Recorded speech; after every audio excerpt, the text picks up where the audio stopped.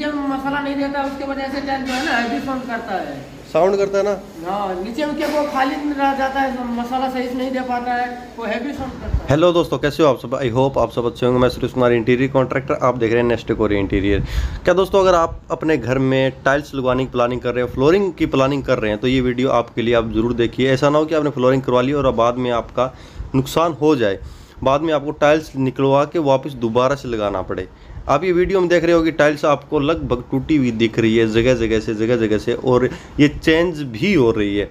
इसका क्या रीज़न है, ये भी बताऊँगा, और जितने भी कारीगर है टाइल्स के, उनको भी मैं एक रिक्वेस्ट करूँगा कि ये वीडियो आप देख लीजिए प्लीज़ ऐसा आप, ऐसी गलती आप कभी ना करिए कि आप तो काम करके निकल जाते हैं और बाद में क्लाइंट को पछताना पड़ता है। उसका काम की क्वालिटी की भी ख़राब होती है, उसका पैसा भी बर्बाद होता है और समय भी बर्बाद होता है। तो ये वीडियो देख लीजिए। दोस्तों, ये टाइल्स लगी है बाथरूम के अंदर। दो बाई दो की टाइल्स है और ये टाइल्स क्रैक हो चुकी है। इसका रीज़न है सबसे बड़ा कि टाइल्स वाले कारीगर ने सही प्रॉपर तरीके से बेस बना के टाइल्स नहीं लगाई है। टाइल्स के नीचे मसाला प्रॉपर तरीके से नहीं दिया, खाली बोल रही थी, टाइल्स लगभग 90 परसेंट टाइल्स खाली बोल रही है। इन टाइलों के ऊपर से आप चलोगे तो टाइल्स साउंड कर रही है और टाइल्स हिल भी रही है। उसी वजह से इन टाइलों पे सामान रखा गया था तो भारी थोड़ा। उसकी वजह से ये टाइल्स क्रेक हो चुकी है।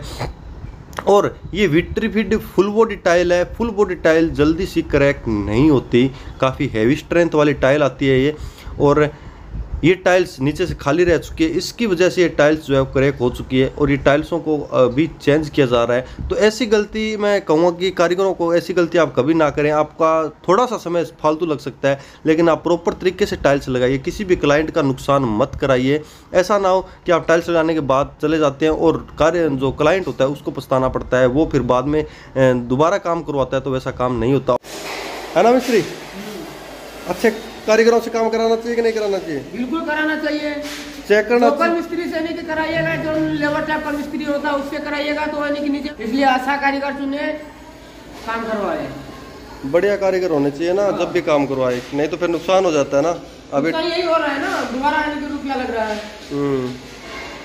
दोबारा टाइल्स टूट रही है, दोबारा पैसे लग रहे हैं इस पर तो भैया, सबसे निवेदन है कि जो भी टाइल्स लगवा रहे हैं टाइल्स का कार्य करवा रहे हैं, चाहे वो कॉमर्शियल बिल्डिंग में हो या पर्सनल फ्लैट में हो, घर में हो, जब भी टाइल्स लगवाए तो चेक करके टाइल्स लगवाए हाई स्किल्ड मेसन से काम करवाए, जब भी पहले उसने काम किया है, वहाँ उसका पहले एक बार काम चेक कर लीजिए, फिर उसके बाद ही उसको है वो, काम दीजिए।